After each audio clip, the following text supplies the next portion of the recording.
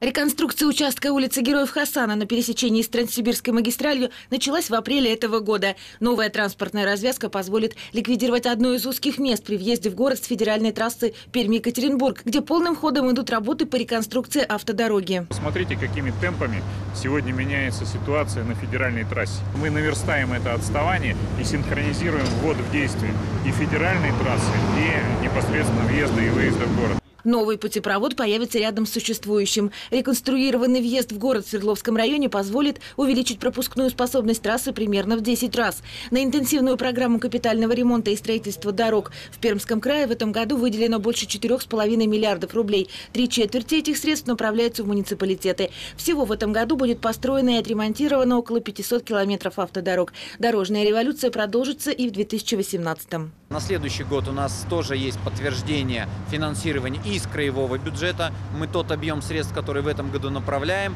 также заложили в базу и следующего года более 3 миллиардов рублей. И у нас есть подтверждение финансирования из федерального бюджета в рамках проекта «Безопасные и качественные дороги». Это тоже миллиард рублей. То есть, иными словами, мы в этом году больше 4,5 миллиардов рублей консолидировали и направили на все стройки, текущие капитальные ремонты в крае.